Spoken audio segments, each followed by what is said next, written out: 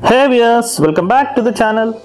Today I am presenting a vlog on the drone shots of Kondapochamma Sagar project, shot during the sunrise on a foggy morning.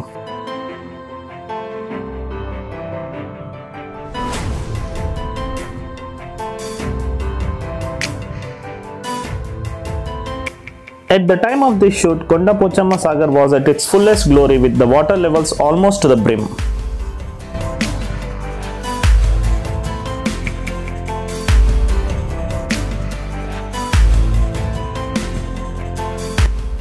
I'll let the video do the rest of the talking and if you end up liking this video please do click the like button and subscribe to my channel.